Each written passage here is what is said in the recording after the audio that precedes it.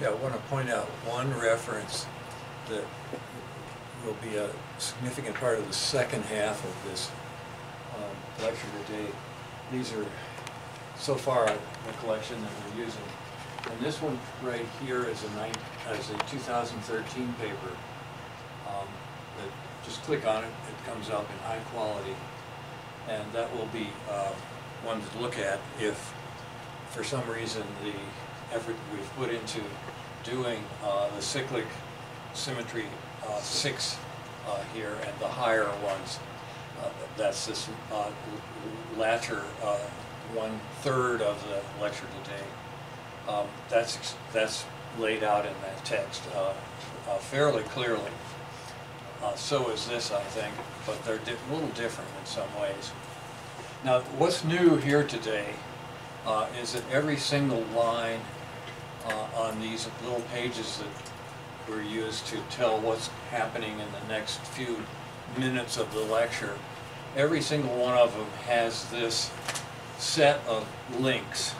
So clicking on anything that's got a purple line under it, um, that takes you uh, to a particular page uh, of the, um, just of the area that, that- that we're referring to uh, for this lecture. And most of the uh, stuff that we're doing today uh, comes from uh, the group theory lectures, uh, 1 through 30 basically, of, about a year ago, or less than a year ago. So um, what this lets you do is, um, instead of getting the page that we present uh, first, like this one right here, we just start off in this lecture looking at page 12. But if you click on this, you go back to where that discussion really begins, and so you get it in little pieces. I'll demonstrate this in a minute, but that, that- that's, um, that's what I think uh, we're going to try to do with all of our lectures now so that you can use it at home and uh, quickly uh, look at something that uh, you don't know the derivation of. We're- We'll try to have that derivation hiding in the background. And that's going to, I think, speed things up here as well. Uh, Some of the group theory lectures went on and on and on and on, uh, very long, and a lot of that length you might not find necessary. So this is a way to short circuit that, but it's also a way to retrieve it if you, if you need it. Just to give you an example, uh, most of the stuff that we're, we're doing here makes use of the basic projection operators. And so maybe I should just go ahead and uh, here's our first order of business is this, is the bilateral, uh, uh, that's twofold symmetry uh, that we were talking about last time. There's a leftover uh, tunneling wave function going on the uh, far right-hand screen as we speak. But the idea of analyzing the two, two, two, two state systems, two level systems, eventually U2 systems, unitary uh, two systems, which we'll uh, bring up in more detail in the uh, next uh, lecture. That, that is all um, based on, uh, under, underlying the uh, idea of making projection operators for any kind of matrix. So uh, let me go ahead and just click on this and see if things are working this morning the way they should. Immediately, I'm taken to the uh, lecture, uh, whatever that number is. The, the- don't show it very well here, but it does show it up here, lecture four, and we're on page uh, 47. If I uh, back that page off uh, just one, uh, just go one page uh, uh, above this, this is what we're talking about.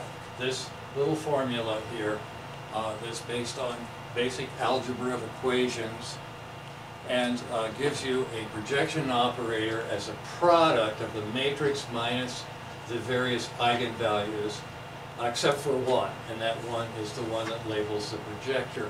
And then the, the uh, algebraic normalization that we use here uh, is just the product of the difference between the eigenvalue that that projector is representing and all of the other eigenvalues besides that one. So this never gets to be zero. And the same uh, product is going on up here with the, uh, all of the, the product, you can't read this very well from are, but the product of epsilon, all epsilon m except the k that makes that projector. So once you do that, and this is just for this simple matrix 1, 2, 3, 4, which has no uh, particular interest physically, at least uh, to start with here, uh, then uh, gives you a, a, set of matrices, P1 and P2, that are the ones that project the eigenvectors. But in fact, each of those matrices has some really nice properties. Orthogonality and completeness is, is uh, done algebraically, a very elegantly way. Uh, these then can be taken apart, that is factored very uh, easily in quite a few ways. One of them is just to simply cut them in half and put the ket and the bra uh, opposite each other so that you can use Dirac's notation that you're probably more used to. So th this is just uh, one, one piece of, uh, I should say, a very fundamental piece of this uh, thing uh, that we uh, are going to be using today. But we're going to let the groups tell us where these projection operators are. Here, you're just given this matrix 1, 2, 3, 4, and has to find its eigenvectors. Yeah, Dr. Harter, what are gauge scale factors? Say which factors? Uh, the gauge scale factors? Oh, that is my favorite hobby, as far as this goes, okay? Uh, when you factor this matrix, okay, uh, when you go um, one minus three and make it a half, okay, one half minus three halves, when you do that, and then uh, you've got this part right here also with a one half, you just read that off uh, there. You could put uh, any number you want, K1 here, as long as you divide by it here. So uh, I call these gauge scale facts. I mean, gauge and scale are sort of synonymous. Um, So that is uh, uh, something that you can do. Now, as I say, the gauge scale factors that only affect it if you want to plot these vectors. That is, if you want to plot the kets, they're the blue vectors there. Okay, notice they're not orthogonal because this isn't a symmetric matrix. Okay? And then uh, this guy right here, the things that are laying out as columns, those are the bra. That's the red thing uh, in Dirac's notation on the right. This vector here and this vector here. Okay? They're not orthogonal either. But the second uh, bra is orthogonal to the first ket. See, there's a nice right angle between those two. And then the logical contrapositive of that is uh, also true. The second ket right here is orthogonal to the first bra. And that's the kind of orthon- orthonormality uh, that you uh, want to have uh, for any treatment of a linear system. This is totally um, before group theory comes to, to uh, be used. But boy, is it powerful for making group theory useful. That, that's really an essential uh, thing that I want to make sure uh, we get uh, clear right from the beginning here, okay? Because eventually, uh, we want to make the uh, completeness relation, which is the sum of all of those projection uh, matrices, is equal to 1. And then that the matrix is expanded. This is called the spectral resolution or uh, uh, spectral um, decomposition of a matrix is what's going on here. And that's what we're trying to do to an entire symmetry group, an entire Lie algebra, entire, uh, all kinds of things that are used in physics to describe uh, motion and symmetry and dynamics. Uh, all of them uh, are based on relations uh, like that. And um, when you do that, you take care of a lot of the things that made group theory annoying to the great masters of physics like uh, Uh, I think Schrodinger called it the Gruppenpeste. Okay, it's a disease, right? He just hated the, the, all of the complicated uh, mathematical terminology that comes with it, uh, based on mostly Hermann Weyl, but also there are a bunch of other people that were mathematicians that uh, just clouded the, the thing with terminology. It wasn't necessary. If they'd just done this, uh, they could have taken a whole textbook and reduced it to a few pages. Okay, so that's what we're trying to do, is reduce the information. But um, we're also trying to make it available uh, so that you can, you you know, use it and uh, do all sorts of things. Um, Depending on how fast the internet is at a given moment, uh, uh, that will, and and of course, I suppose your computer, you have a high-speed computer, helps. Dr. Just a quick Yeah. question. Uh, before we proceed further, like you can always calculate, uh, given a matrix, um, any matrix, you can always Any matrix. calculate the eigenvalues and the eigenvectors, the eigenkets. But Mhm. it's so is there, but then not all the eigenvectors should form a complete set, right? That there is no rule that all the eigenvectors of a matrix will form a complete set, right? Or is there any property that the matrix should satisfy to form for its eigenkets to form a complete Yes, set? Yes, there is. And that is the, the, the main um, thing that it has to satisfy is that the um, minimal equation, that's the equation that the matrix satisfies, uh, it's called the Hamilton-Cayley equation. It's basically what you get if you take the secular equation, replace the uh, unknown eigenvalue lambda in the secular equation by the matrix. Okay, so that's a matrix equation uh, that, um, then we might as well use this picture right here to answer your question by going backwards um, here, and it is a little slow this morning. But um, the basic idea is that uh, you start with uh, a secular equation which turns into the Hamilton-Cayley matrix equation. That's what's going on right here. So uh, if the Hamilton-Cayley equation uh, doesn't have, when it's reduced to its minimal size, that is, if you have any repeated roots, you might be in trouble, uh, but you're not in trouble if the Hamilton-Cayley equation can be reduced so that only have one of each of the eigenvalues. However many they, times they are repeated in the secular equation, you only need, if you only need one factor for that, each of those eigenvalues, not two. If you have two, you're, you're in trouble. You've got a nilpotent uh, um, um, algebraic operator, which is a, uh, for this stuff, a disease. Okay, that's the end of the road. You will not be able to diagonalize uh, completely that matrix. Now, you can lop off some of its dimensions and then get back to work. That's what you do in Green's, Green's function theory, okay?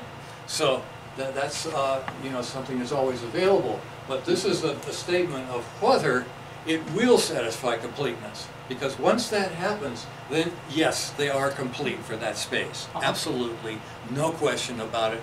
And that's summed up by the fact that the projectors add up to one. Ah, okay. So if you can reduce to this form, basically you have diagonalized your matrix, where each of the roots Mhm. is what the diagonal element of your matrix. Yeah. Now, if it's got those repeated factors, then you, you, there's a whole industry, uh, the mathematicians uh, have, uh, to quasi-diagonalize it. There's a Smith normal form, a Weierstrass normal form, a whole bunch of different ways uh, to quasi-diagonalize. Group theory takes care of that. So as far as I remember when I do group theory, it's like when you have a degenerate uh, degeneracy of eigenvalues of a matrix, you cannot uh, write it in terms of its uh, spectral decomposed parts, right? You cannot, right? No, uh, Even what if you it is just said is, uniquely. is not right. If the minimal equation has a repeated root, Oh.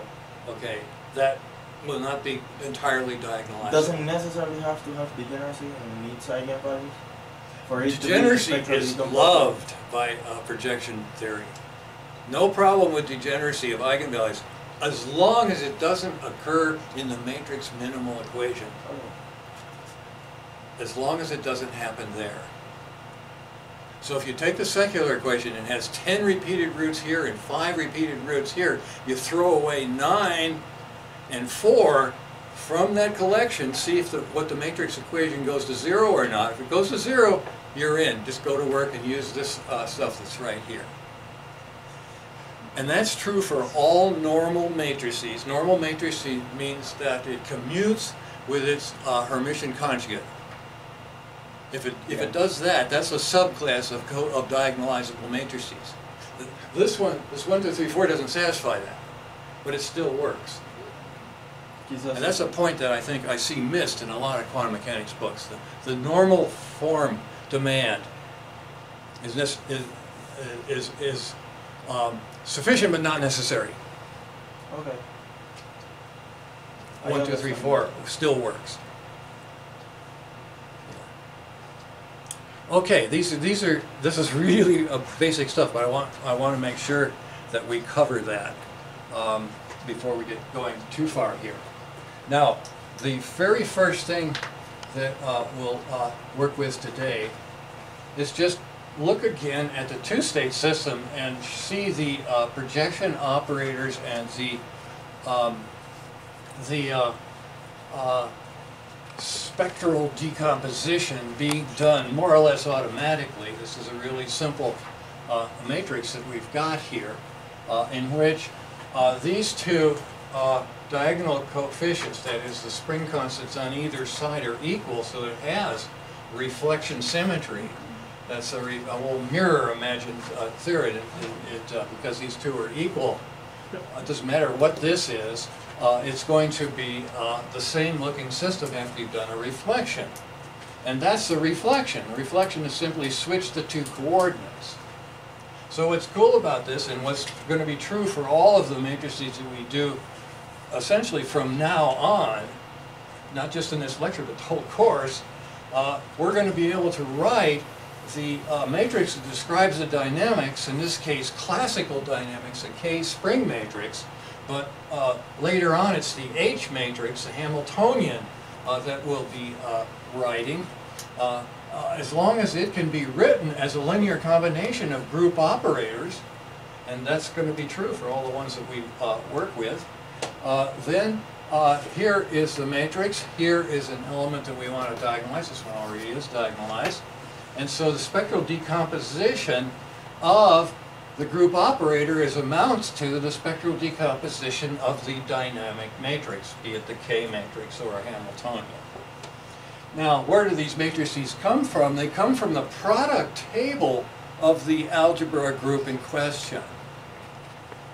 So that, that's uh, something that, um, you know, it looks like it's almost a trick the, for a simple thing like this, but it's, it's true for all the ones we'll do today, very obviously, and also true for other things that are more complicated that come up later. But in any case, um, this little click right down here uh, gives me the last page of the spectral uh, solution to a 2D oscillator, okay? If I click on that, I'll get the last page. But let's just go ahead and run through it real quickly. What I'm going to do on this screen is just real quickly go through from the first page. Okay, so just remember that all of the quantum mechanic problems we do have classical analogs, classical analogs of, of, a, of, a, of a, a system, in this case two-dimensional system, two masses, uh, running around in a potential uh, that's a a harmonic oscillator potential with different frequencies uh, in one direction than the other. Very slow frequency on this side, a very fast frequency on that.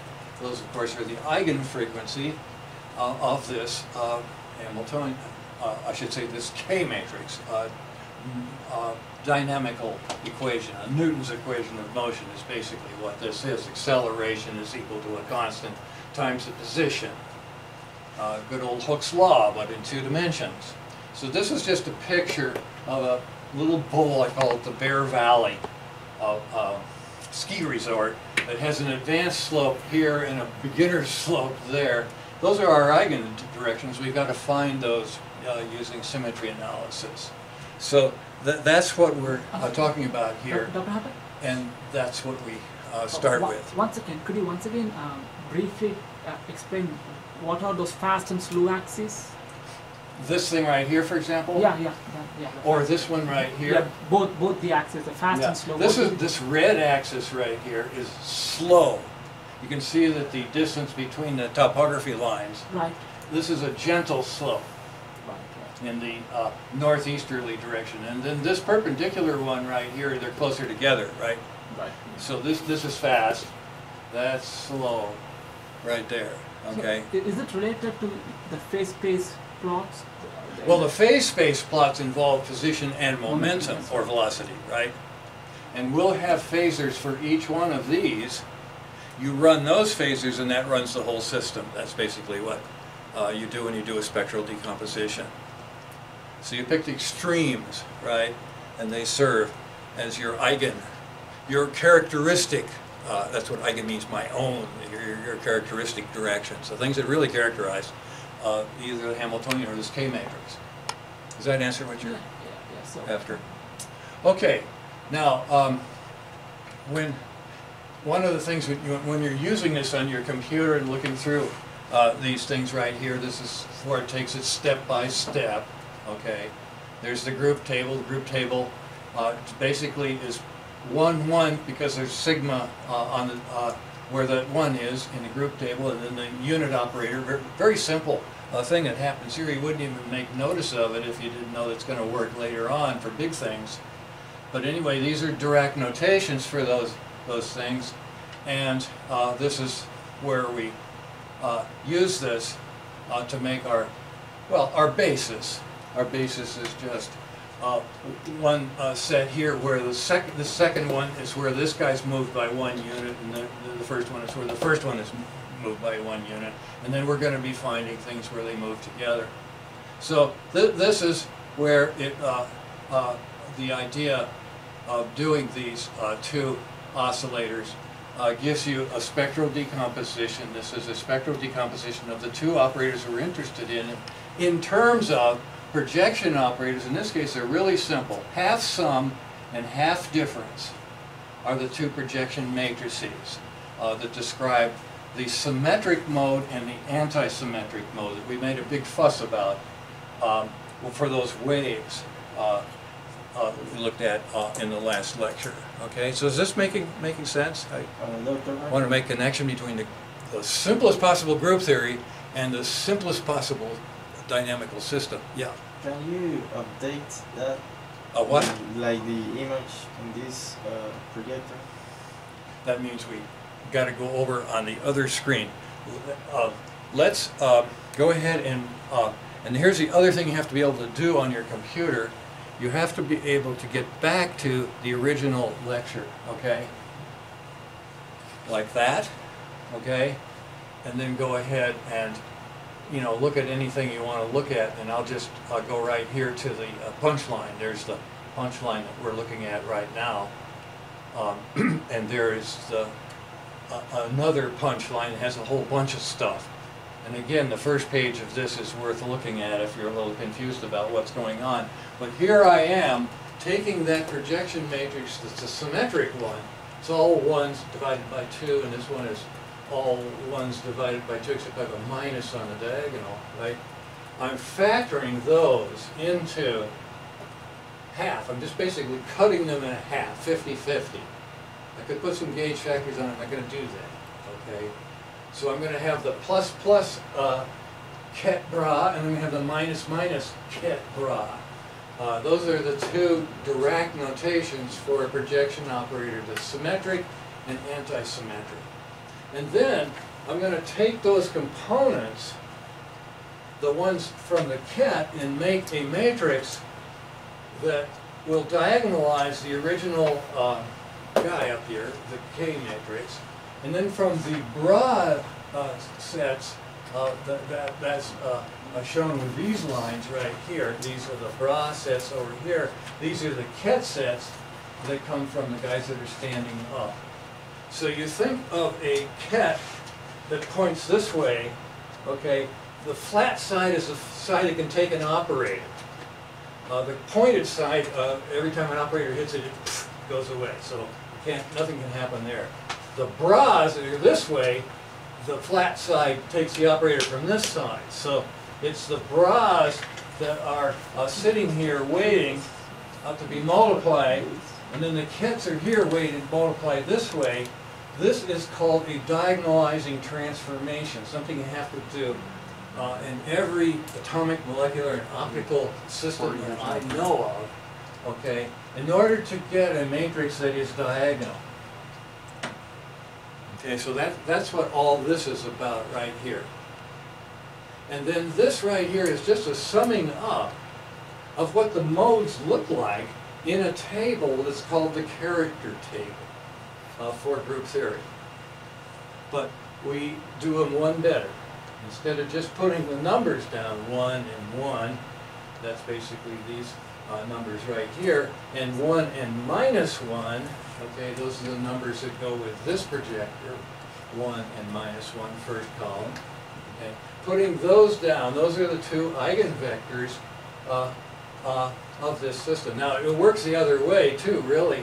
Uh, what I do is I put down the bras in order to conform to the standard uh, way uh, that all of the literature does character tables, but they, they're just doing it sort of blindly. This is something that really associates the uh, rows of this matrix with the position points, P for point, the zero point and the one point.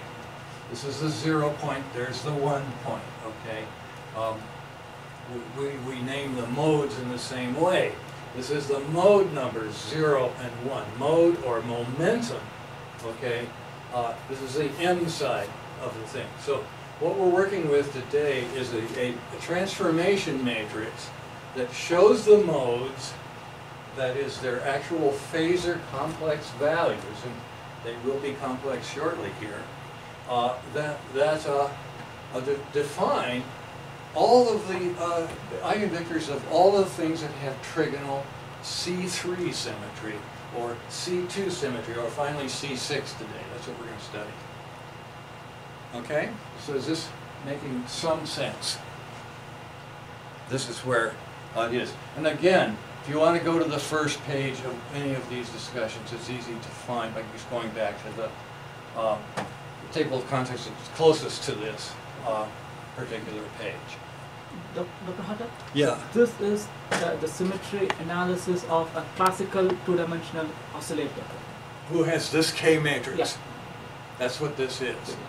But that is directly analogous to a Hamiltonian matrix, and we're going to make a big fuss about that later.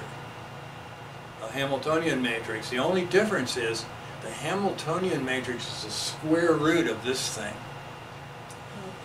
So the eigenvalues of this thing give you frequency squared, which is, you know, energy for classical people, right? So that's just using Sylvester form formula, right? Just But Sylvester's name is attached to uh, spectral decompositions or um, formulas that uh, look like uh, the, this. If you, if you cut through some of the fog that goes with Sylvester's formula usually. So Yeah. one thing I remember one homework you gave us was like so if you, if I take like the square root of that Hamiltonian, it's just like if I were taking the square root of the eigenvalues of the spectral Right. terms, right? And that's, that's what we call a functional spectral decomposition. And maybe we should turn the uh, camera to, uh, we're at the second uh, slide of the uh, wall over here, where I have the matrix written as a sum of projectors with eigenvalues. That's the spectral decomposition. The projectors themselves add up to one. And the most important equation is the very top one there, where the projection operators are eigenoperators of the original matrix, which then gives the formula at the very top. And I do believe that Sylvester's name is attached to that formula at the top.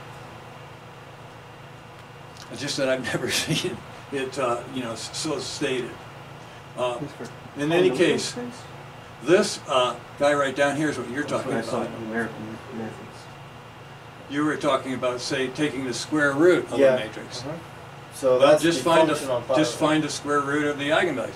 So th- this is the way you can take an exponential of a, of a matrix, which we really need, right? We're gonna need that for Lie algebras, Yeah. Lie groups, right? That's one way to do it. We get better ways, much better ways to do that than, uh, thing. But when you're really stuck, that's what you would use.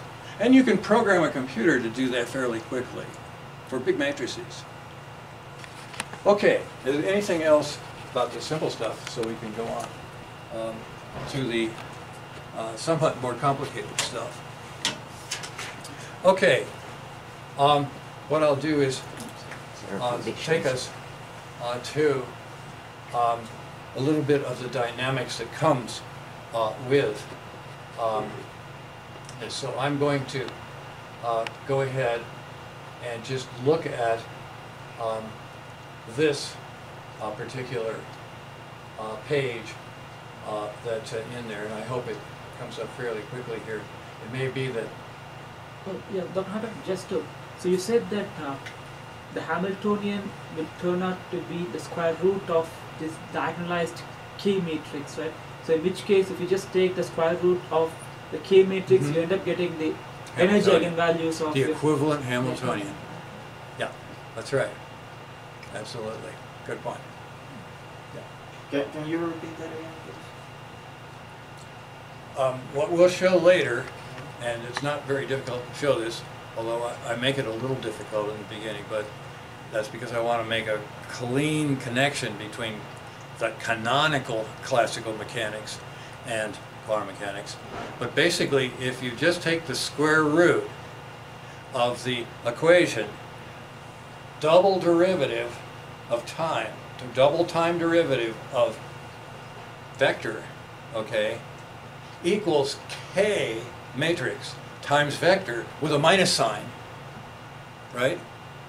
And take the square root of that, then you get a single derivative, and you get an i for the square root of the minus, and then the square root of that matrix k becomes the h matrix. And the i comes over on this side, so you get i times partial with respect to time of the vector of- of interest is equal to h times the vector of interest. That's Schrodinger's equation that works for everything all the way through uh, a- a relativity. Presumably of someday it'll work for quantum gravity. Did you just did that using group theory, right? Like you just derived it like using.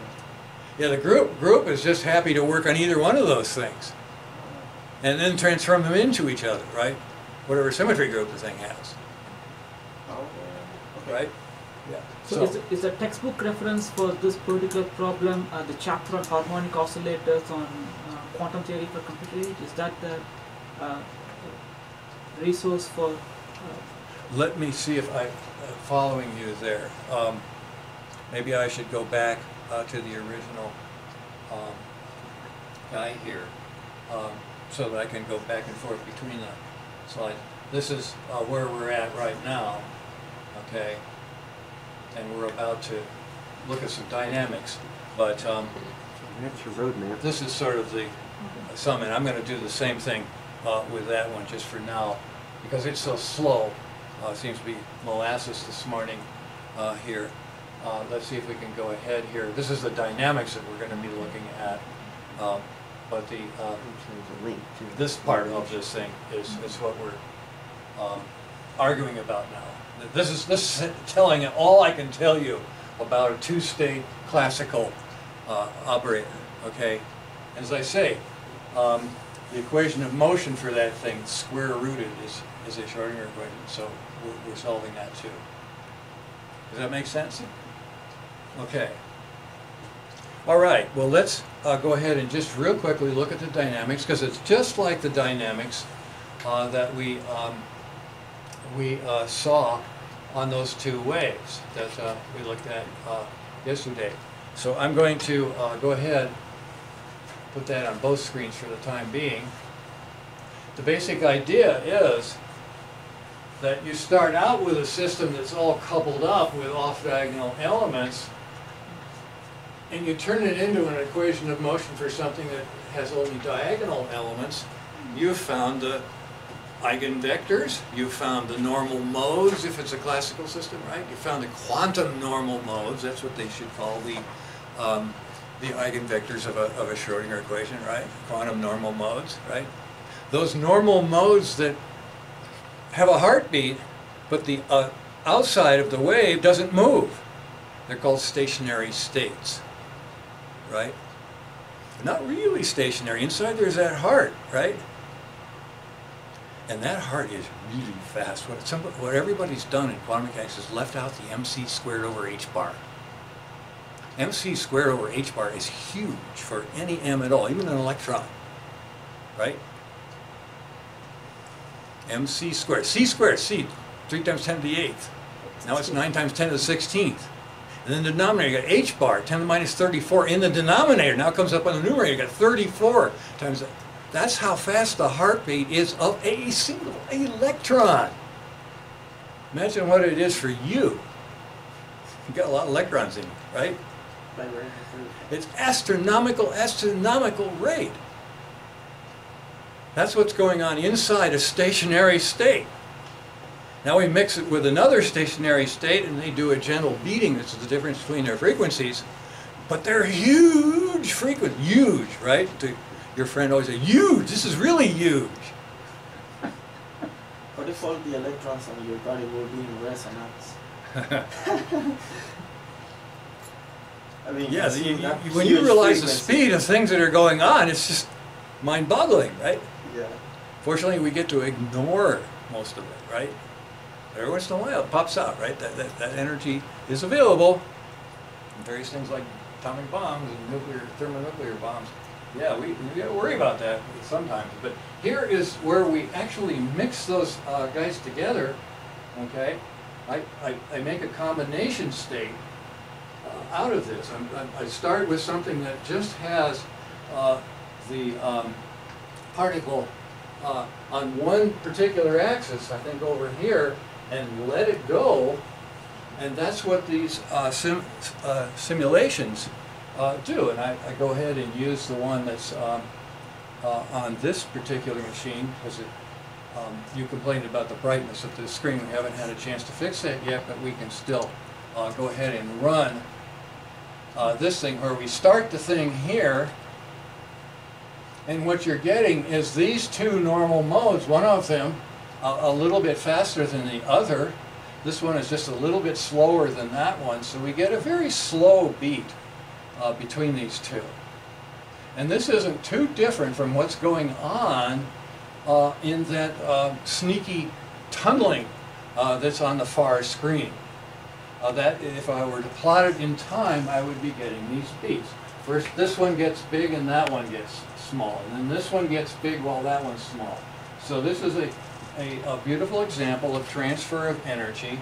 And what you notice uh, with these uh, things, if you slow them down, and you can do that uh, just by uh, reducing uh, a number here. I can take this down to, I can even make it go backwards. But there's where you can see uh, that the um, that the, the uh, phasor of this one right here,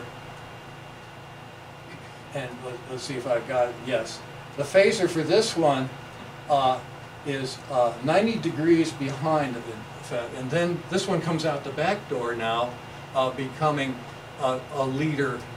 Uh, let's see if that. It just happened so fast, it's hard to track. Yeah, you, you, you don't see that uh, switcheroo there, but um, the, there. the basic idea is that you have a 90 degree angle between uh, both of these, and that 90 degree angle uh, shows up when you go ahead and factor this thing in a beautiful, nice beautiful way to, to make these sums into just uh, functions that are cosine and sine. But sine with an I, you see, is what you get for this one right here. This is the difference between the positive x, one exponential and then this sine reversed one. This is the sum, that gives you a cosine. This one is a sine, it gives you an I times a sine. So note the I phase. That's the phase that you're seeing of 90 degrees between these two right here, okay? And anytime you want to, you can just reset time equals zero and see that. Okay, so that one started with everything. Now it comes back and um, starts to grow. Uh, the uh, other oscillator, it's pumping up the particle in the other well, okay, ever so slowly and so evenly. And so, I mean, it's really a beautiful dance, okay, uh, that you see there. And this thing is uh, 90 degrees ahead of that. Now it isn't anymore. It's going to go out the back door. And now this one will be 90 degrees ahead of that one. You see. So this, this stuff multiplied by thousands and all sorts of other complications is what we'll be talking about in atomic and molecular optical physics for as long as we stay in the field. The fundamental way nature does its business, which is a wave business. Okay, I think we can, um, and by the way, when you uh, play with these things on your computer, it's always a good idea uh, before you leave a movie to pause it so you won't be using up CPU. If you leave a whole bunch of movies running, your computer gets slower and slower because it's running all those movies, right? So it's a good idea to shut them down before you uh, uh, move on. Okay, so I'm coming back to the original uh, lecture here. I'm going to do the same thing that's already on the original lecture. I just want to point out that two-state systems are so much a part of our physics that it's worthwhile paying attention to that briefly.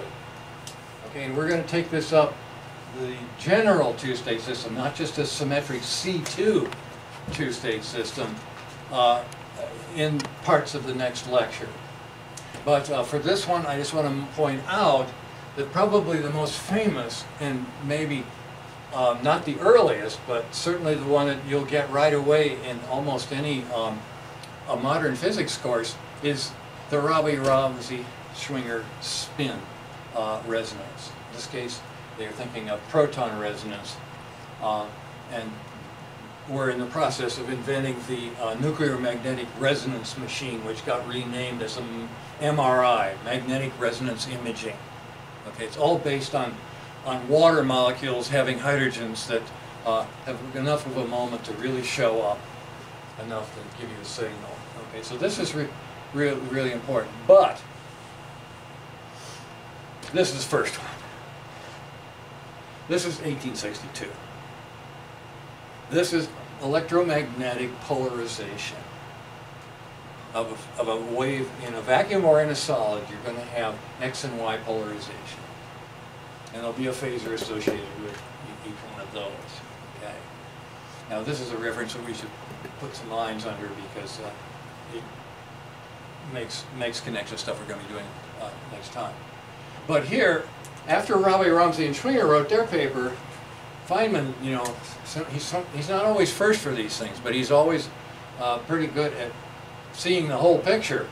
Feynman, a student of Hellwarth and, and Robert Hellwarth, in 1957 wrote a paper in J Applied Physics, uh, which points out that the ammonia molecule inversion states, and this was just after Townes had uh, discovered the maser. So the maser is based on ammonia, a molecule that, that can tunnel its uh, nitrogen through the H3 triangle.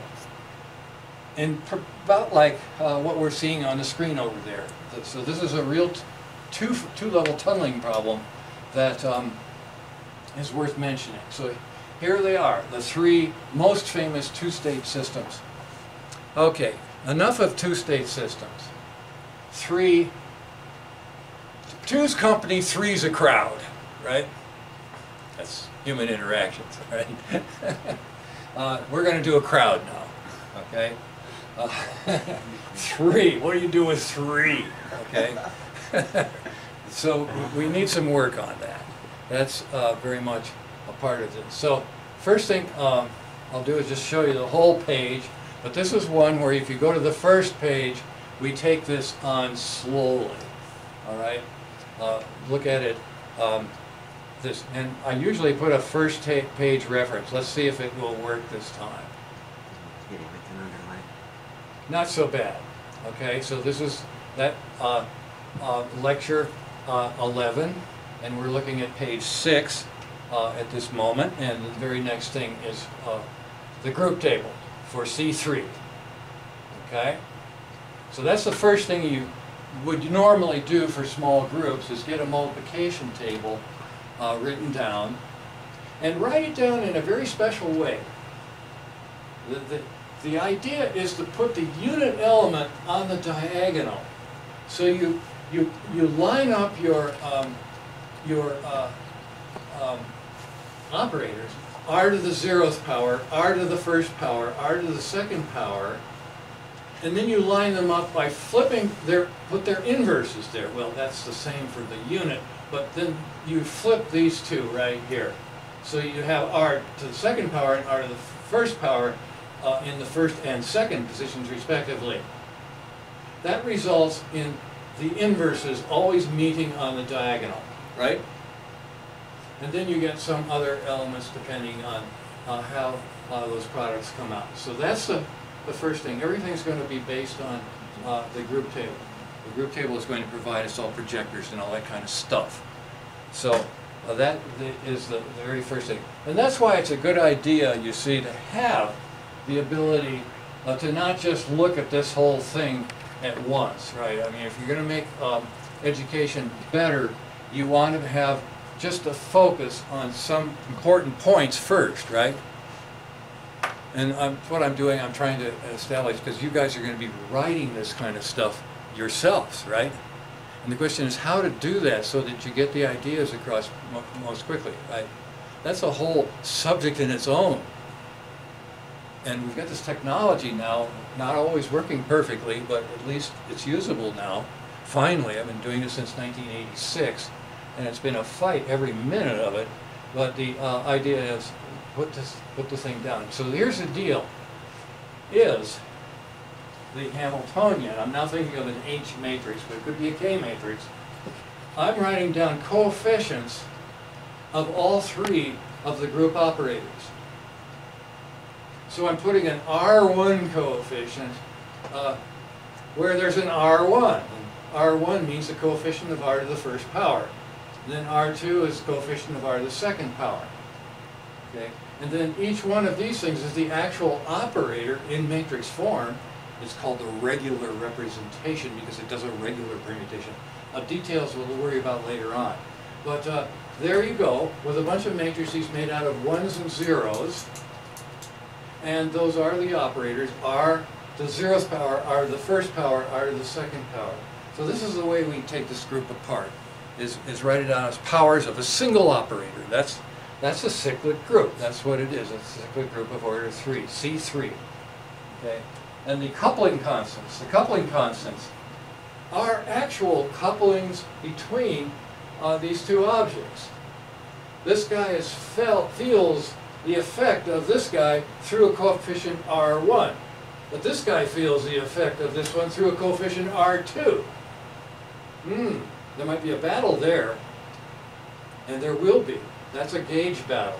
We'll be working with the cases where R2 is equal to R1.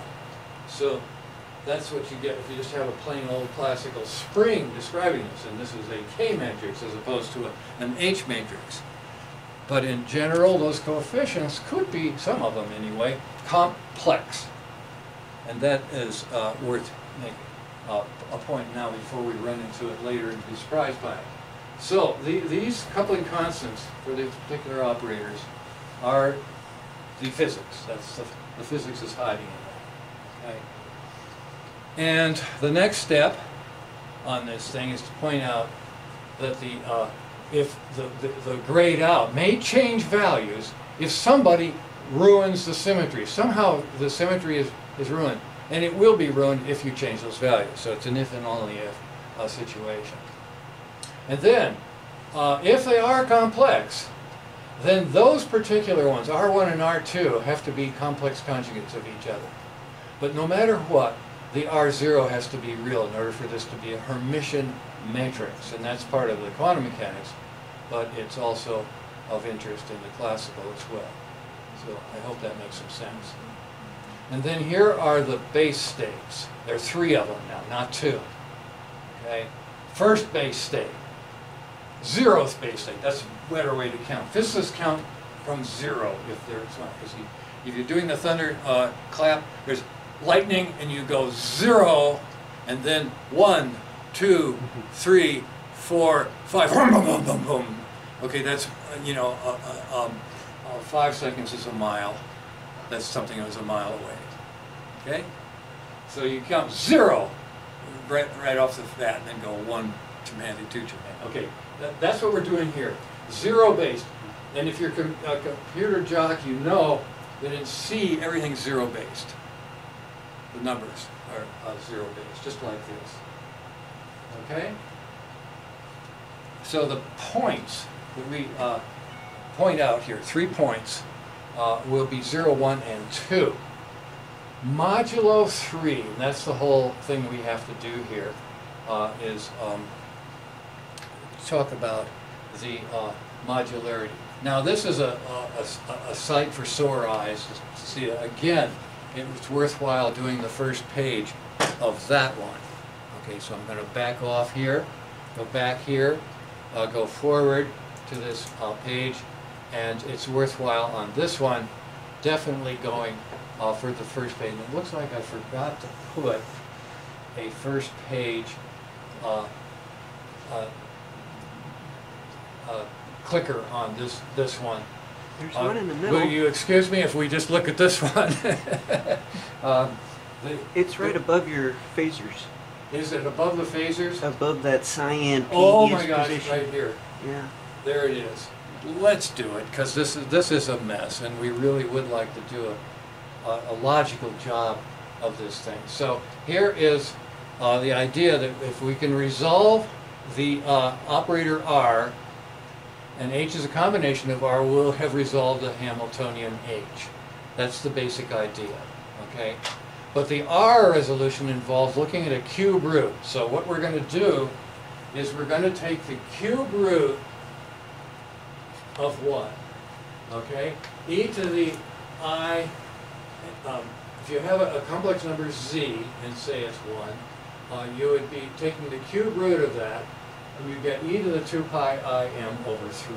So the cube root of z uh, is that. Well, there's three values of m uh, that, that satisfy that equation, and those are the three values we'll be working with. Those will be the irreducible representations of this symmetry. So what we have here is the fact that these, all of these operators satisfy this minimal equation, this Hamilton-Cayley equation, this minimal equation. No repeated roots, so they're not in trouble there. But we very quickly factor the thing into three factors. Then, the first projection operator is the product of those two with some scale factor. The second projection operator is the product of those two, and the third projection operator is the product of those two. That's the uh, Sylvester, or whatever you want to call it, a formula uh, for projectors. Okay, so we're, we're going to take those and make uh, something that is the eigenoperator of each of, of each of the R's, all, all of the R's. R0, R1, R2, and R3 equal R1. Okay, so there's the orthocompleteness relation there. There's the spectral decomposition relation right there in terms of three projectors that we haven't worked out yet. And there is the uh, functional spectral decomposition. The square of the middle one is there. So I'm going to be taking these, and this is a standard notation, chi for character. That's the name that's given to eigenvalues of group operators, roughly speaking. And the uh, uh, eigenvalues uh, 0, 1, and 2 is there to the zeroth power, to the first power, and to the second power for each of the possible characters uh, that you can have uh, that are cube roots of 1. Okay? So that, that's the basic idea. That's the thing that gets this started.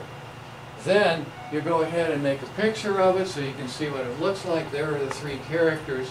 Actually, those are the complex conjugates of the three characters. Uh, minor detail. And let me get the thing out of the way there uh, so that you can see you know exactly what we're talking about here. So that's you know leading to this uh, stuff uh, right here. Okay, so we make a table. And that's the character table for C3 right there. And once again, we have something labeled by point or position on top, so that's space, and something that's labeled with m, that will be a k vector or momentum or mode number, that's the other uh, uh, mnemonic that goes with the letter m. So you, what you have here is per space versus space table. That's the physicist way, it should be the physicist way to look at a character table. Okay? Well, we'll make more fuss about that sort of stuff uh, later on. But anyway, there are the numbers all lined up in a way which you would find if you looked in a textbook uh, on group theory and, uh, uh, Google the character table from their index, and uh, there, that's the uh, that's what we're uh, getting uh, here. So that's pretty much it. But at this point, you can draw the pictures of the waves, right? I mean, let's just draw the complex numbers that go with those complex numbers, and then draw a wave through it and it's, of course, only valid at that point and that point and that point. There are only three points. It's discrete. But this trick works for all uh, cyclic groups. Eventually, we'll, you'll see that we have a lot of, uh, of, of um, complicated looking things, but they're very simple. They're, they're just this uh, thing. So, this is a formula for chi star. That will be the uh, actual wave function. This is another way to write it. Okay. All right. Now, I don't know if this is a good time to do it, but we might as well try the, this out here. I, I'm hoping this will uh, give us a, um, a actual picture of a motion of the, of the wave. There we go. That's the beautiful C3 wave that has non-zero momentum. There's only two of them. The one going this way and there's another one going the other way, and that's it. The other wave is just flat, completely flat. And in this particular Hamiltonian, zero frequency, but you can make it any frequency uh, you want. You can scale all of them up, and it's, it's you know, still kosher. Okay? So, uh, let's, um, as I follow what I teach, and that is, I'll pause this, now, be aware, this, well, we have this application here. If you want to play with these things, uh, you can make any wave you want. Zero it all, and look at the zero wave, okay? There it is. As I turn the, uh, the master phasor down here, that wave goes up and down. The real part and the imaginary part are actually shown there by a dark line and a light blue line that is ahead of it. Imagination ahead of reality. Remember that, uh, Lewis? DCU. Uh, the same thing happening here if I keep it on a circle, okay? All right? Now I zero that guy. Constant. I forget how, how do you zero. Uh, that ox. Uh, I, here you can use, it. I just wondering if you zero one of them. Okay, here is the one we just looked at. Okay, and as it moves, the, the wave moves, right? And I'm going clockwise. All the phasors have to go clockwise for positive energy. Okay? Now you, you might ask, uh, what do I get if I got, put two waves in there? I get the same damn wave, it's just, uh, you know, it's the same for each one of these guys, it's just different uh, for the others. What happens if I uh, put this one in there? Okay? Well, it's, for the phasors it's the same, but it's got, all, uh, it's got more kinks in between, right? And that's the same thing that's true uh, on this side. If I go down here and do this one, they just it just goes a different way when I go clockwise. So this is a nice lesson here. This is Fourier control right here. Okay, I can make a, a negative a wave. There's the wave with one kink going so uh, this going side. this way now when I crank this clockwise. And I can put them together. Okay, I can put this guy together with this one and make a standing wave, okay? And you'll see that if we launch it. This wave goes this way, this wave goes this way, makes a standing wave. These, these are points that I'll make uh, later on. So when you start adding the two rows of the character table, you get this, or you can uh, add, uh, you can add them with different phases uh, to get something else. We'll, we'll cover that in a minute. All right, I think we've um, probably done uh, enough uh, to um, allow us to go ahead on this um, thing. We've been uh, working at about an hour here. This whole business of orthonormality and completeness is uh, being shown, um, and the character table uh, is, is there. Now, some secretarial work is in, no, in Notion. How do I make connection between the group theoretical way of looking at these things and the wave function wave? We're used to e to the i k x, right? We're, we're- we've got something more abstract here. We've got e to the i mp times 2 pi over 3. Okay. Well, this is where you, you use the ordinary Cartesian coordinate xp to be some lattice constant times an integer p. p for point, right? p equals 0, p equals 1, p equals 2. Uh, when you normalize a plane wave function, we always end up getting root square root of 2 pi in the denominator, right? When, when we uh, normalize plane wave function. You're thinking when you do a normalization, you have an integral and you bring down the... Yeah, the root 2 pi because we get that from delta function because uh, That's right. So Um, we don't have that one this- here, this one The group, the, what's so great about group theory is it does automatic normalization if you know how to do it. And the reason for that is that once you've got the projection operators, they have to add up to one. So you end up with fractions, not square roots of fractions. And you end up with all the fractions on the projector and nothing on the, uh, the, the conjugate. That's very convenient. You don't have to write uh, 1 over the square root of 3 on both of them. So You put the one-third down on one of them that you don't really use that much, and then the, uh, the corrector thing is automatic for the wave function that comes. So I guess that's a quick and blib answer to what you're asking, but I want, I- I, I want, So- when we come back to another expansion, I So think we'll show that. these, uh, these, uh, you know, from the character table, so those coefficients have more probabilistic interpretation because I notice if I just like multiply them all of, the, if I multiply You gotta all of square them to make probabilities, right? Yes, and then I something they all sum to one. So if I have like Mhm. a like a fourfold symmetry, Yes. I will just put a square root of four, right? That'll be true for all the waves. Yeah, because I would have like the same Any probability value of of m. getting the same all Yeah. irreducible representation of the projectors, right? Let me, let me show Sorry, uh, Mr. projections. Wave down here for a minute here. uh, And bring this guy had a, back. a pi term in the denominator? that's fine. You're integrating. Yeah, That's right. That's how We're you- summing. This Yeah. is a discrete space versus your continuous space. yeah. Yeah, here, here are the functions, like Uh-huh. the, the square of this, plus the two square of that, plus the square of that, that adds up to three. Right? Oh, three So you have you're gonna re uh, normalize that. Function of x. One third. Yeah. The coefficient of, of the projector. Because the projector, is the thing that has to square to The a projector, value on right? those points It's vary. idempotent, that means you multiply the space p's together to get p. Yeah. It's so much easier to work with that kind of normalization than one that involves square roots. Okay.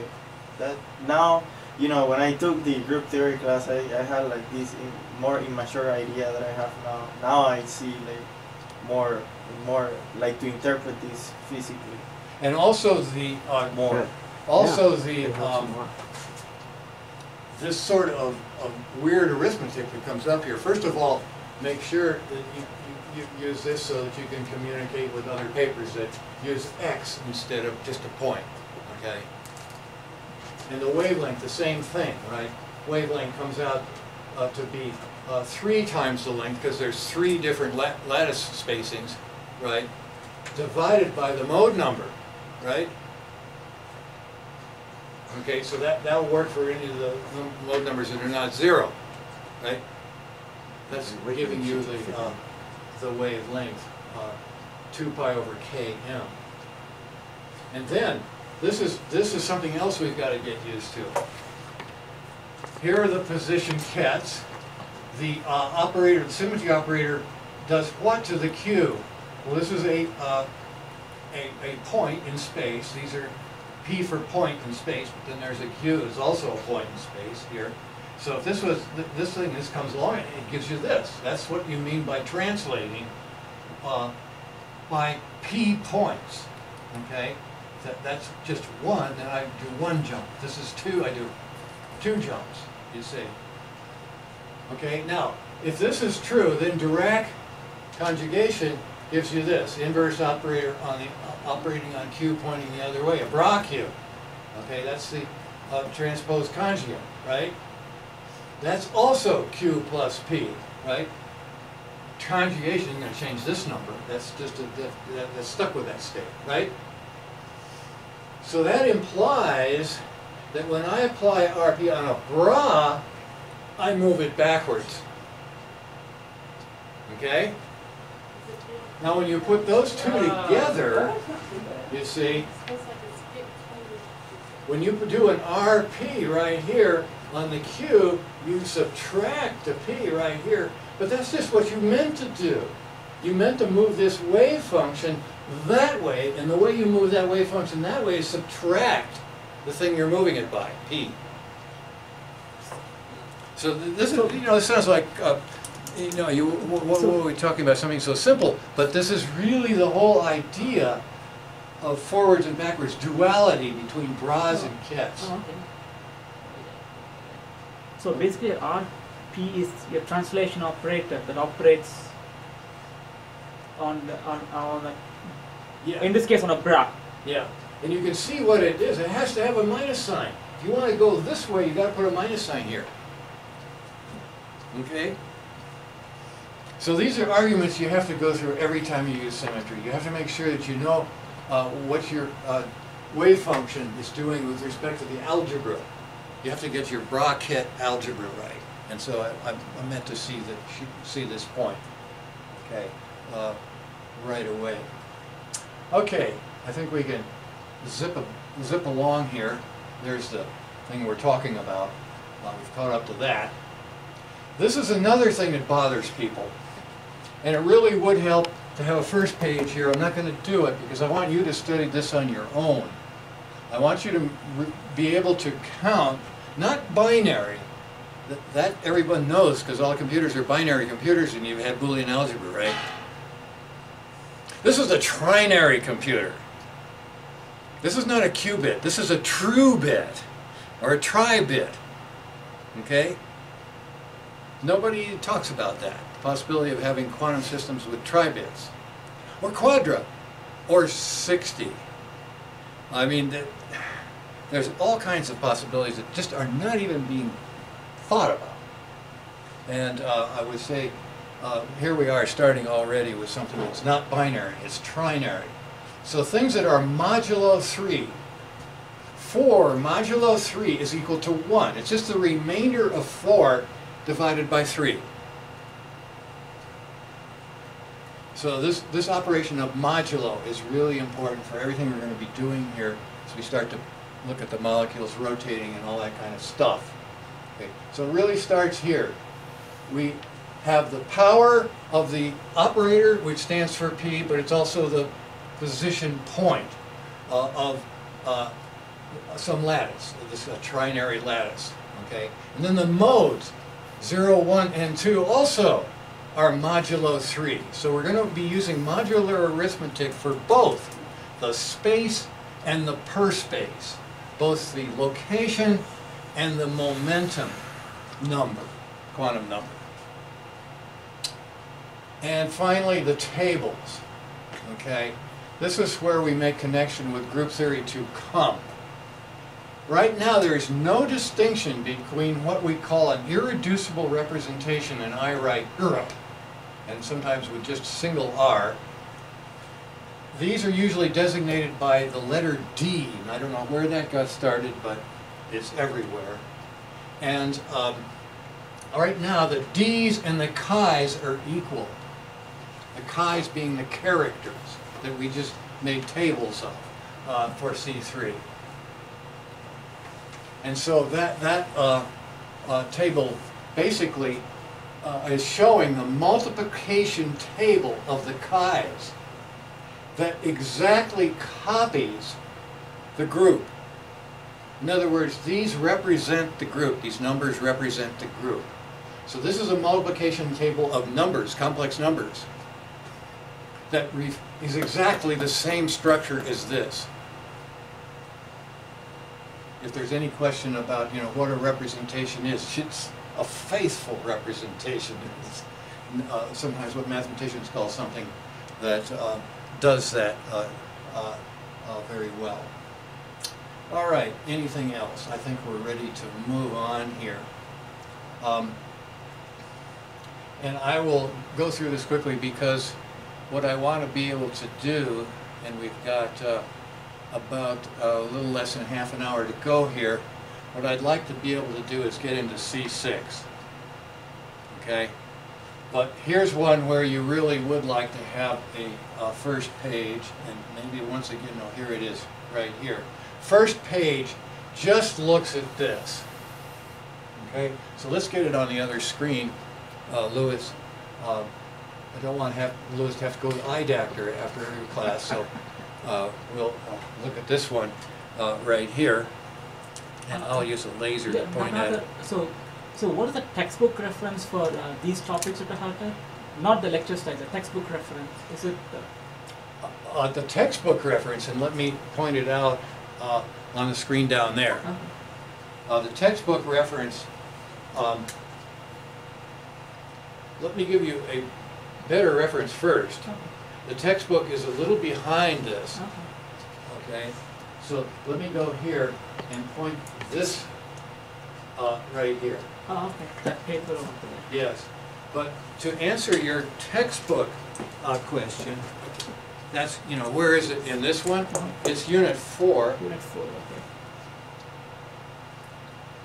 uh, which is, actually it's unit three, but I, it's the one that has that fancy um, rainbow of phasors, which we're gonna look at in just a minute here, okay? Unit three uh, takes on C three, that's the way to remember it. But um, the way we're doing it is a little more streamlined than what's in that textbook. And this, particularly with non-abelian groups, this particular uh, paper, the 213 paper, um, takes you through that. Plus, it, the beginning of it is daunting. The beginning of the paper goes into tensor analysis, which we'll do later. But you go a little bit and, and you come to the section where it, it takes you back to this uh, simple group theory. Of C6 is just what we're about to do here. Okay, but let me, let me point out something that's happened here. When I want to find the actual expectation value of the Hamiltonian, that's the energy, the energy eigenvalue, and I've got a Hamiltonian that's written as uh, linear combinations of powers of R, and I've got the eigenvalues for those, I get this uh, formula, which I then collect, because the zero is real easy, that's just R0, okay, and then I get a cosine right here. The cosine of 2 pi m, 2m pi over 3. Cosine of 2 pi m over 3, okay? Well, uh, that's, that has a value of just simply 2r for uh, m equals 0. But for m equal plus or minus uh, this, uh, this uh, value comes out to minus a half. So minus a half times 2 is minus 1. So those are the two eigenvalues of our Hamiltonian for the choices 0, plus and minus 1, respectively. And then, uh, how, what do you do with those eigenvalues? Well, if it's a quantum mechanical thing, you're done. You see, quantum mechanics just takes the eigenvalue of the energy operator and says, that's it, boys. That's what we're going to have to pay, a dime a kilowatt hour, whatever this is, right? But when it's classical, you still got to take a square root of this thing. Okay? This needs a square root right here. So what we're looking at actually is a cosine for the uh, Hamiltonian, so there's a cosine right here with a minus sign on it that describes all of the cyclic systems that we're going to be doing. But we only use this point here and these two points here uh, in our particular uh, solution to get these vectors frequencies. Okay? So down at the bottom we have these characters. That's the m equals zero. I've rearranged them so they match the energy. And then right here I've got plus and minus one. Plus one's a right-hand moving wave, minus is a left-hand moving wave. If we don't have any complex numbers uh, in these coupling constants, uh, these are going to be the same frequencies. So they'll both be degenerate. And that's the basic geometry of the eigensolutions. It's just a triangle, an equilateral triangle. But you got to take the square root of this thing if you're going to do classical dispersion. Okay? So this is an exciton-like uh, dispersion. This is a phonon-like dispersion. It has a nice uh, speed of sound slope here at the beginning. This one has slope zero at the k equals zero. Momentum equals zero. Momentum equals zero point. Okay. Uh, this one's got uh, no slope at all. This one's got a, a, a constant slope, at least nearly constant for the first few pixels there. Then it bends over. That's a phonon band, a dispersion function. Okay? Works out to be a sine, the square root of k, of not 2 pi over 3, but pi over 3, because you can take a half angle uh, there if you like. Okay? Now you'll notice that this one is linear for low m, but this one is quadratic for low m. Take the cosine, it just becomes x squared. Okay? So those are some things I wanted to point out before we go on here uh, to the uh, more complicated C6 uh, group. Any questions that you can think of um, about this? Um, I'm going to go ahead uh, point out that there are these two kinds of waves, the standing wave and the uh, moving wave. Here are the standing eigenwaves, here are the moving eigenwaves. Okay? This is a cosine-like standing wave. This is a sine-like standing wave. This is the uh, exponential plus and exponential minus added. Here they're subtracted. And then the eigenfrequencies uh, for either one of these uh, is the same. But this one down here is uh, got two times that with no cosine. And then there's the k uh, frequencies. If you're doing classical uh, dispersion, uh, basically a Hooke-Newton equation, is, those are the dispersion functions. And the same thing is true about making standing waves and um, moving waves uh, out of those. Okay, is this pretty, pretty clear? Um, Uh, look, Commander, This is a- uh, another picture of the same thing. can you go back one slide?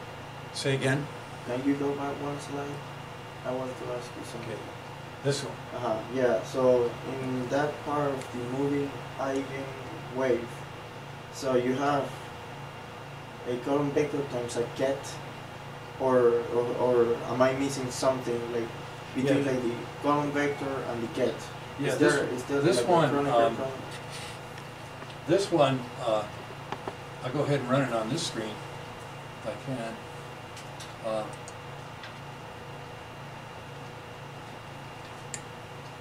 This one right here, Uh-huh. that's it. What about the get? Ket S3. Uh, after the column vector. Oh, this guy. Yeah. Okay, yeah, let's make that.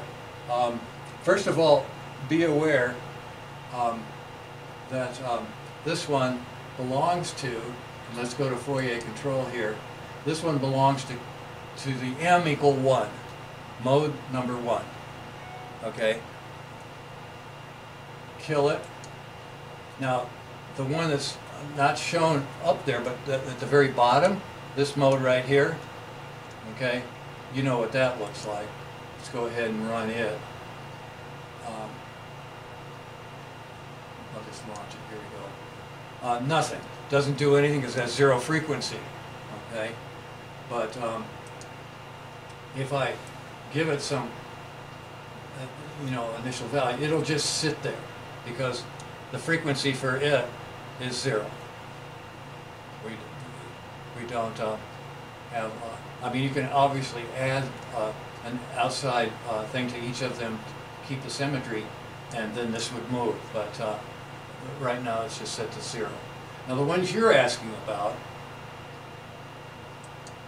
is obtained by taking a difference between the one and the minus one, right? So I start this one up like this, okay? And then instead of making a cosine wave, which is what this would make, all right? This is a cosine wave, here's zero, cosine, right? Uh-huh. Uh, I'm gonna take it down here, and if I make it exactly equal, that's pretty close right there, right? Well, not too bad. I should also make the clock right. Okay, that's about the best I can do with my quivery hands. You can see very clearly a, a sine wave, right? But it's a standing wave. You can't tell me this is moving this way or that way because I have equal amounts of something going this way and something going that way. So the momentum is quenched, that's the name that they give, making a standing wave out of something that had some current going. You quench the current. Make them interfere themselves to zero. Okay, does that answer your question about the, the sine wave, which is what this one is? Yeah, but you're saying that the standing wave equals the moving wave. It's made of a sum of moving waves, Okay. right? And so is the cosine, right? Yeah. Uh, The better way to say it is the cosine is a sum, this is the difference. That's that, fo- that, that number right there. This one's got a plus sign, That, however, I understand more. yeah. You say sums.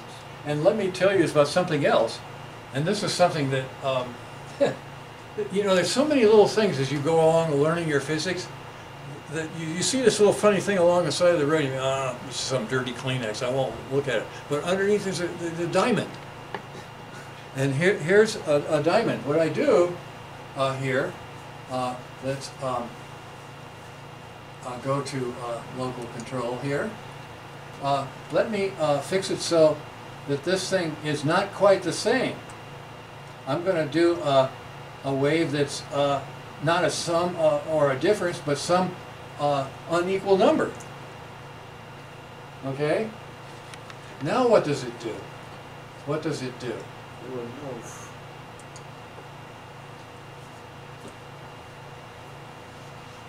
It sits there, it catches its breath like a standing wave does, but then it gallops very rapidly across to this side. And then catches its breath, then gallops again. See this thing moving there, okay? Faster than light, that's al- almost always faster than light. That's a galloping wave. Okay?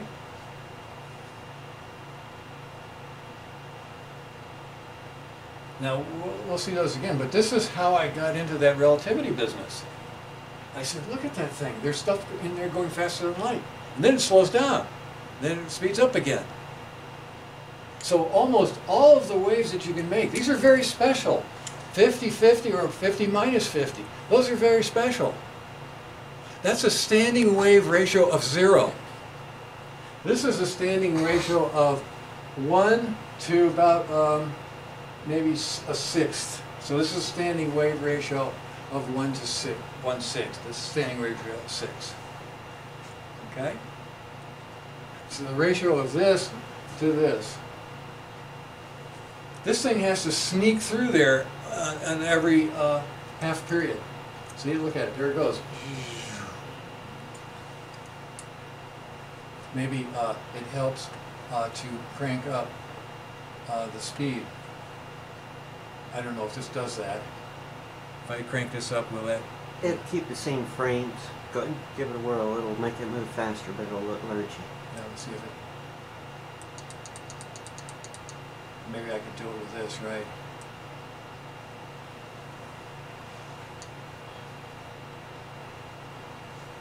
Yeah, you can see. Every half period, it gallops. Catches, catches its breath, gallop. Catches its breath, gallop. Okay? Well, we wrote a paper about this called Relativistic Properties of Galloping Waves. Oh, yeah. Right? That's how we discovered a better way to teach relativity and quantum mechanics. Let waves give you the clues of what's going on. And when you look at this in a moving frame, you see pair creation and pair destruction of these zeros. Well, this is all stuff that's um, kind of weird. But, uh, you know, it's one of those things that um, you find lying along the side of the road, and um, it's worth worth uh, sometimes taking uh, use of that use of it. Now, what we're going to do next, and I would say one of the things we should change on this control panel. This is a really important control tab. Yeah. Changing the number of oscillators. Move it. It shouldn't be in the crowd, it should be right, you know, up in the center there. But there's where you change the number of oscillators that you're gonna be playing with right there. So let's crank up the uh, six uh, to that and see how she does. This is what we're gonna be talking about next. And when we do our, our Fourier control, uh, these are the kind of waves that we're gonna uh, be dealing with, okay? There'll be the zero wave like you always had. There'll be the one wave like we were just looking at in combination with minus one. But now two wave uh, means something. It actually means something besides minus one. This is a very different wave now uh, according to these six phasors because if I only have three phasors like here, here, and here, then I don't detect the differences uh, uh, located here and here. You see, this one does. So this is more, the six, the six wave is more discriminative of the various Fourier components, and that's what we're going to work with uh, uh, next. So let's uh, bit back here to uh, the um, lectures, and um, we don't need to say anything more about that. We're going uh, to do uh, C6 the same way, but now we're going to zip through it uh, real quick, uh, just to get a feeling for, first of all, what we already have done, which is, is make a character, a, a group multiplication table, and then a set of matrices that represent each element of the group.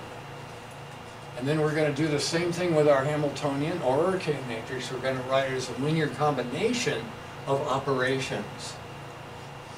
And it'll be clearer from this example where this goes and what it works on. Uh, The only Harter? sad thing about this is that it's hard to see some of the colors here, Dr. Harter? so I'm going to let Lewis look at this thing from a Just, just better a quick point of view. question. Uh, the six uh, in C6, does that stand for the degrees of freedom, the, the number of in, that you're considering? Yeah, uh, what do you call, instead of, instead of a qubit, this is a sex bit. Oops, no, that doesn't work. This is a sexagonal bit. I, I know, what do you call it, right? Um, uh, The C stands for circle or cyc- cyclic, I guess. And um, the number is, is just exactly what it has as, as, as, as a degree of freedom, right? So we're already thinking about a hexagon here. And um, that will be obvious in, in in just a, a minute here. So, um, let, th these particular slides in this thing are sequential. So this comes directly out of um, le- lecture uh, 12 of the group theory. Okay? And so I will just follow them in sequence. And the rule is the same. The matrix for R cubed is gotten by putting a 1 in a zero matrix wherever R cubed shows up. Here, here, here. And it's very cyclical. That's why it's called a cyclical group. After you get done there, then you start up here, here, and here. So th- there is the uh, matrix that represents the uh, middle operator of the, of the uh, hexagonal cyclic sixth group, okay? Same thing for R fourth or R squared, or let's look at R. It's got all ones right down the diagonal here. Right down the diagonal are, are the little r's, the first power. And then there has to be an r to the first power up in the corner. So there it is. Does that make clear what these things do? And of course, this guy, r to the zeroth, we've arranged them so the inverses of the operators here are sitting in that order up here. Now, we say I could done a, different kind of ordering. I put it th- this one down here, and we'll talk about that later. That's a very powerful thing the, of the duality theorem we'll be getting later on. But right now, uh, always get a one on the diagonal from this table. So the Hamiltonian is going to have these constants that use the same basic notation as the r's to a power, except they're written uh, sort of covariant. These are the contravariants. There's a little complex, in general, number, r1, r2, and finally rn minus 1. And the idea is that we're now a sufficient number of, of um, bits, sex bits, to uh, describe all cyclic groups. We don't have to go do C7 or C8. Um, we, we will understand uh, their behavior uh, pretty much just from looking at this, this example. Okay, now here's, here's what's funny about this, is that these coefficients, the uh, uh, italic are 1 through 5, or 0 through 5, or 1 through 6, if we're doing it um, the way a lot of books do. But remember, I like to count from 0, and so do a lot of other people that make progress on things. The uh, little coefficients represent springs of, uh, uh, say, a molecule, okay? These guys, right? And the R1s are just the nearest neighbor couplings. This has more than that. This has more than just the sides of the hexagon that represents its symmetry. And right now, we're just going to discuss the cases where the R's are all real. Okay, so that I, I want to make uh, clear. But um, I go ahead and put the, uh, the conjugate R's in there. There's R bar, R bar, R bar, R bar there. Those are the connections going one direction. The R's are a connection going the other direction. And right now, we're going to say that they're equal.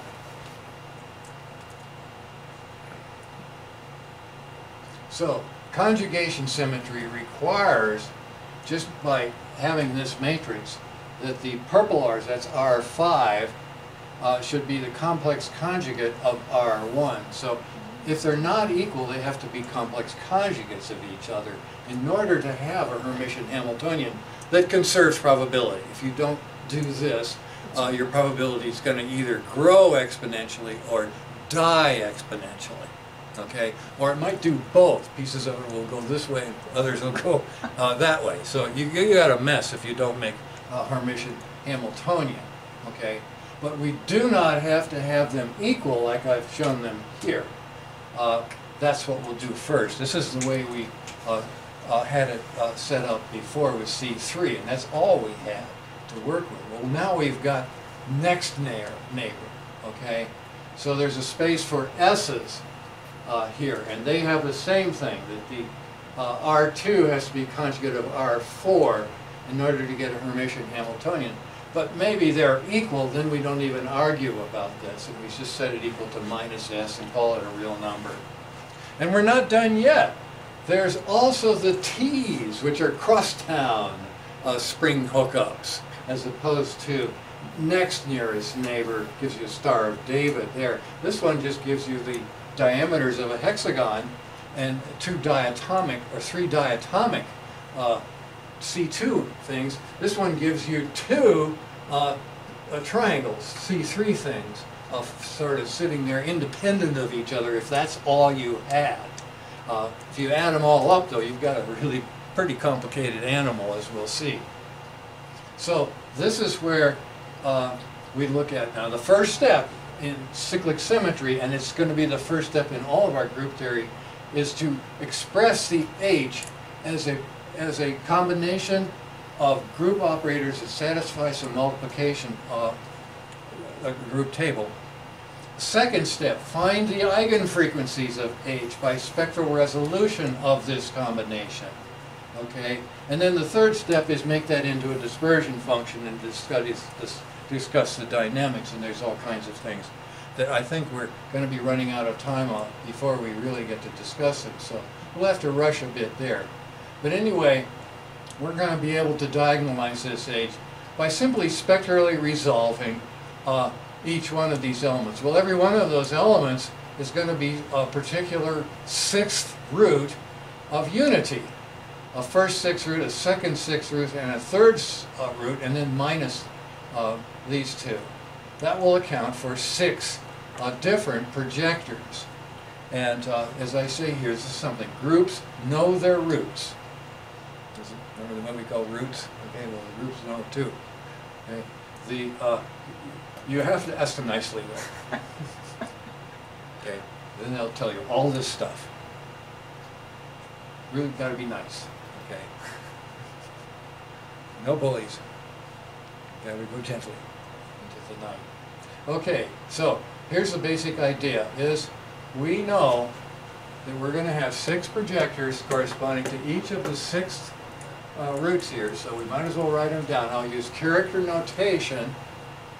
That is, the the chi and the d will be equal, but it'll be the conjugate of what we would call a wave function, psi. And this is gonna be s- the- a, a standard practice, uh, convention uh, throughout this thing. Now, the group table that I, I just showed you that goes with this, which is over here, and I guess I should be moving it over for Lewis here fairly quickly. Are you able to look at it on your computer? Yeah, but So- yeah. Um, I'll keep it for a moment like this. We take this complicated group table and reduce it to this when we make projectors. Projectors are idempotent. P squared is equal to P, but zero with everybody else, right? They're orth- orthonormal, right? So this is what it really amounts to when you make your, um, or your projectors. is the, as I say, the top row flip is not needed because they are their own conjugate. So you don't have to do this thing where you put the inverses on the top and the elements on the side. These things are just the way it's shown. Okay, so you reduce your, your uh, multiplication table to, to this. Now, if it's a sum of projectors, then it is just the unit matrix that you get. So, here are the matrices representing uh, each of those uh, P's from this table, just as we got each of these things from looking at this table for the group elements themselves. Isn't that slick? That's, you know, getting at it directly, right? Just going for it directly by knowing the projectors are eigenvalue placeholders. Here's where the eigenvalues are going to go, right? So your linear combinations of them are going to be things that um, are spectral decompositions, basically. This is the rules they follow. And they satisfy completeness rule. So simple, right? Such a simple algebra compared to what you would do with Dirac, quan- um, you know, vectors, which is the other way of handling uh, this sort of stuff. Claim this is superior. And there's our character table. That's what it uh, looks like. Now, I'm going to go ahead on this one, just go through it again. There's the three possibilities for uh, uh, couplings. There's the projectors. There's the uh, character tables. There's C6 in all its glory.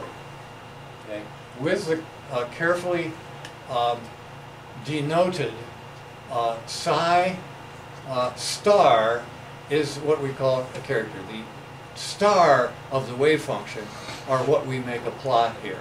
So these are actually um, instead of being e to the minus k, uh, what we're doing here, these, the, the plane wave function is e to the plus kx. Okay, but the characters are e to the minus kx. That's what, uh, if you look up any character table, almost all of them just come out that way. Um, nobody uh, tells you why it is.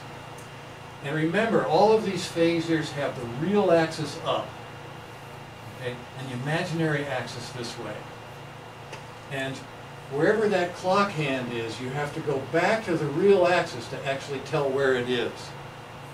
And that's the wave, where the wave is at that particular, um, for that particular one mod six uh, uh, eigenfunction.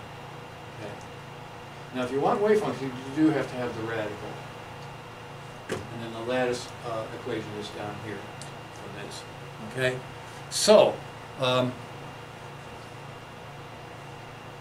I think I can go ahead and uh, show. Now, what I say here is this is what you'll get if you, um, as I say, go to the library, look up a group theory book, look for the characters, C6, you'll get a table that looks like that. right? And that's all you've learned in an ordinary group theory book. That's why it got called the Gruppenpest. Nobody, you know, put the physics on it. Show what it really is.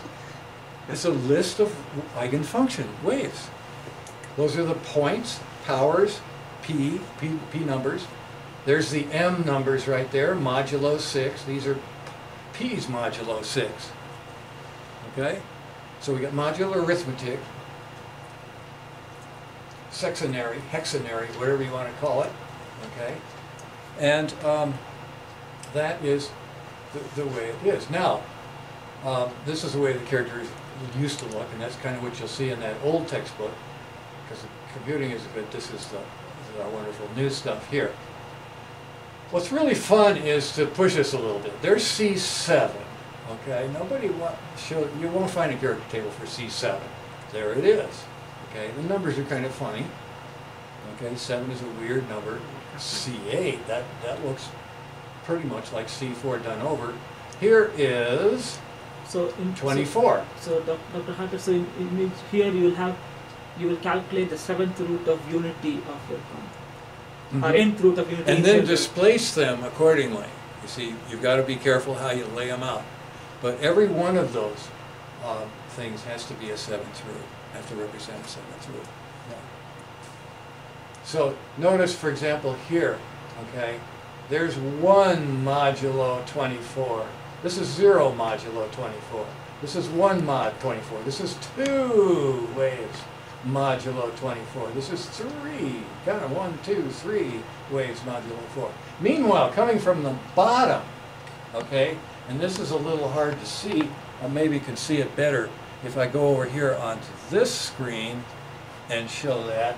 Uh, I think you, can see that down here I have a one wave. There's the peak, there's the valley, and then there's the peak again. It's just that they're arranged uh, differently from this one right here. Okay? They're kind of backwards, right? Well, this is minus 1 modulo 24. That's plus 1 modulo 24 there. Then here's two waves modulo 24. This is minus 2. It's 22 modulo 4 is minus 2. See the 24 kink wave in there, all hitting in the right places? But the arrows, if you follow, just look at the arrows, there's half a wave, there's one, I'm halfway now. I do it again. It's just almost like this one. It's the conjugate of this one. Okay? And then what's called the Brillouin band boundary, BBB, is right here. It's up, down, up, down, up, down, up, down. This is the only real wave uh, here, only standing wave here besides this one, which is zero. So this is the extent of the K-space out to the first Brillouin band boundary. And that will include these. You have to fold this thing in half. Right here's the fold point. So the arrows in each of those little circles, does that denote the orientation of uh, Phase the face of that particular of that wave, of that wave? Right. yes. And then they're gonna turn at whatever frequency your eigenvalue tells them to turn, right? And that's gonna be the dispersion function. Okay? And this is gonna go on and on. Here we are at thirty-two, it's a few more of them, right? Here's hundred.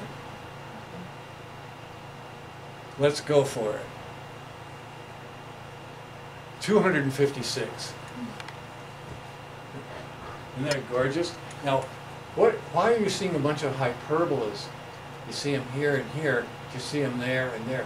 And that's because it's e to the i mode integer times power or point integer, mp. That's k sub m r to the p's power. That's, that's kx right there. This is just writing it in terms of the numbers we're used to, each of them divided by the total number, 256. But this MP, this is the M number along the side here going from 1 to 256. And these uh, phasors are so small, they, the pixel uh, washes them out. But you can see the hyperbolas, and that's just MP equal constant. You know, I think I mentioned it before, but these patterns look like when you when you like the old TVs. Equilateral hyperbolas. Uh-huh. Yeah. Yeah.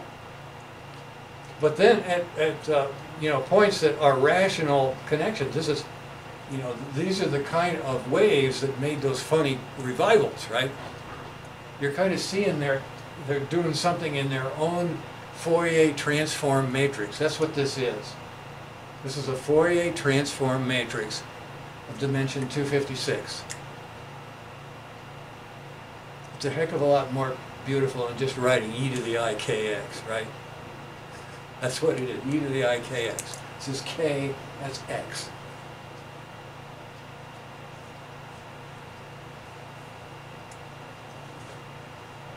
Okay, well, I would point out that this sort of analysis is very much a part of that um, uh, QCA, QTCA book, uh, Unit 3 uh, through uh, eight, chapters 8 through 9.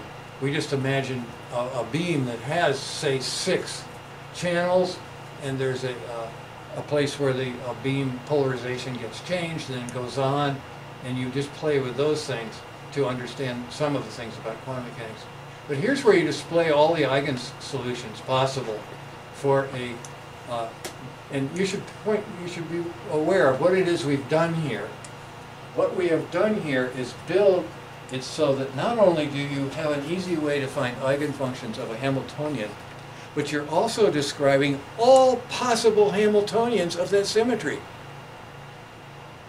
All possible eigenfunctions of all possible Hamiltonians.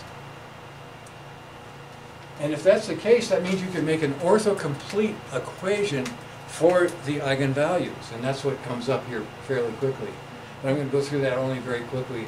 This is something, um, we'll make use, some use of this. Here are the dispersion functions for the nearest neighbor, elementary Bloch model, but here's a second neighbor. If you only had second neighbors, you'd get this. And if you only had third neighbors, you'd get three. So what those coefficients R0, R1, R2, and R3 are is, it is uh, Fourier components of the dispersion function. That's kind of neat. The actual Fourier components of the dispersion function are the these coupling constants. There's the first Fourier coefficient, there's the second coefficient, there's the third that makes a three-wave dispersion. So the dispersion function can have those as Fourier components. So that means you can make complete sets. And here I'm setting the gauge to zero, so these are all real. There are then four different eigenvalues that you're going to get, and there are four different uh, constants that you're going to set. They all have to be real, so you cut it down. It's orthocomplete. Okay? Now you make it complex, okay, so that you have complex phase associated with each one of those, that's three more numbers. Now you've got a six by six uh, display. And I left as an exercise to find the R's as a function of the um, uh, eigenvalues. This is the eigenvalues as a function of R's, that would make some, most people happy, but you can go Basically, it's- backwards. It, it's solving six simultaneous equation, linear equations that you want to do. That's right, yeah. With general coefficients, Oh yeah. So yeah, right. so your R zero, R one, e- everything will be function will be functions of omega sub zero, omega plus one, whatever times some phase factor. That's what these will be. yeah. Yeah.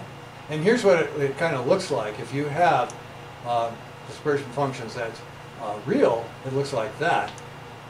Okay. Just solving for an inverse matrix for a C6 Yes. character table. That's the point. Th- You can make orthocomplete solutions. All possible problems, all possible solutions. I'll show you here. Here's what happens with just making R1 uh, um, imaginary. That is, making it have uh, an angle phi. The little hexagon that projects our uh, dispersion before, it rotates by half that by, by, in this case, pi over 12 is the ans- angle I picked. So look what happens when that happens. These two were degenerate before, they split to first order. The top one just moves to second order. The bottom one moves slightly to second order. But these two split. So you got Zeeman splitting here and you have quadratic Zeeman right there. And it's all just due to the geometry of taking a cosine wave and moving it a little bit uh, to the right or to the left. That's what I call a gauge effect. And it just amounts to putting a magnetic field uh, up the axis of the hexagon or to rotating it. If you rotated this thing while it was doing these waves, uh, it would do this. So, so that's kind of neat. There you can see uh, what uh, is happening uh, to all of the um, lights. So here, now, every wave has to be a moving wave. It has to be a current carrying type of symmetry. Every one. You can't have these degenerate degeneracy where you can make a standing wave. You can't make a standing wave. That's one of the things that will happen if you think, because it's already moving. you can say, well, maybe I'll make it go fast enough so the thing. But only one mode would do that. And here's another thing. Now that you can make um, any possible dispersion function, that's what this is doing here. I can make a quadratic uh, dispersion. See, this is the dispersion I'm, I'm stuck with if I just use Bloch's uh, thing with only one coupling. But in general, I can put in all those cross couplings. I can make anything you, you want. And if I was talking about n equals 6, I'd need to have a minus 2 for the nearest neighbor, a 2 thirds for next nearest, and finally a minus a half for the crosstown. That's nice. then I can get the, the, the Bohr dispersion. And remember what the Bohr dispersion does? It revives. It's a subset of a harmonic oscillator, so it revives. Okay, I think that's uh, as far as we're going to go. That's the last slide right there, blank.